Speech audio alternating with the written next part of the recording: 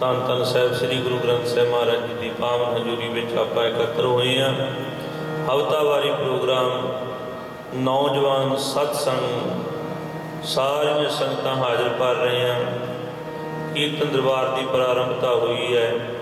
ਧੰਨ ਧੰਨ ਸਾਹਿਬ ਸ੍ਰੀ ਗੁਰੂ ਨਾਨਕ ਪਾਤਸ਼ਾਹ ਜੀ ਦਾ ਪਾਵਨ ਸ਼ਬਦ, ਆਪੇ ਰਸੀਆ ਬਰਾਸ ਆਪੇ ਰਾਵਣਹਾਰ ਆਪੇ ਹੋਵੇ ਚੋਲੜਾ ਆਪੇ ਸੇਤ ਪਤਾਰ।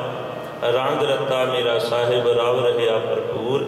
ਆਪੇ ਮਾਛੀ ਮਛਲੀ, ਆਪੇ ਪਾਣੀ ਜਾਲ, ਆਪੇ ਜਾਲ ਮਣਕੜਾ, ਆਪੇ ਅੰਦਰ ਲਾਲ, ਆਪੇ ਬਹੁ ਬਿਦ ਰੰਗਲਾ ਸਖੀਏ ਮੇਰਾ ਲਾਲ ਨਿਦਰ ਵੈ ਸੁਹਾਗਣੀ, ਦੇਖ ਹਮਾਰਾ ਹਾਲ। ਸਾਰੇ ਬੰਨੇ ਪਰਮੇਸ਼ਰ ਦੀ ਜੋਤ ਹੈ, ਘਾਟ ਘਾਟ ਮੈਂ ਹਰ ਜੋ ਬਸੈ ਸੰਤਨ ਕਹਿਓ ਪੁਕਾਰ। ਸਾਰੇ ਸਰੀਰਾਂ ਦੇ ਵਿੱਚ ਸਗਲੀ ਕਾਇਨਾਤ, ਉਹ ਪਰਮੇਸ਼ਰ ਦਾ ਰੂਪ ਹੈ ਆਪਾਂ ਨੂੰ ਆਪਣੇ ਹਿਰਦੇ ਰੂਪ ਦੇ ਵਿੱਚ ਉਹ ਪਰਮੇਸ਼ਰ ਦੇ ਪਿਆਰ ਨੂੰ ਉਤਪੰਨ ਕਰਕੇ ਉਹਨੂੰ ਹਰ ਜਗ੍ਹਾ ਹਾਜ਼ਰ ਨਾਜ਼ਰ ਮੰਨ ਸਕਦੇ ਆ। ਇਸ ਕਰਕੇ ਸਤਿਗੁਰੂ ਜੀ ਕਹਿੰਦੇ, ਸਾਰੇ ਬੰਨੇ ਰੰਗ ਰਤਾ ਮੇਰਾ ਸਾਹਿਬ, ਰਬ ਰਹਿਆ ਪ੍ਰਭੂਰ ਮੇਰਾ ਮਾਲਕ ਪ੍ਰਭੂ ਪਿਆਰ ਵਿੱਚ ਰੰਗਿਆ ਹੋਇਆ। ਉਹ ਸਾਰੀ ਸ੍ਰਿਸ਼ਟੀ ਵਿੱਚ ਪੂਰਨ ਤੌਰ ਤੇ ਵਿਆਪਕ ਹੈ। ਸਾਰੇ ਜੀਵਾਂ ਦੇ ਵਿੱਚ ਉਹਦੀ ਹੀ ਜੋਤ ਹੈ। ਆਪੇ ਬਹੁ ਵਿਦ ਰੰਗਲਾ, ਸਖੀਏ ਮੇਰਾ ਲਾਲ।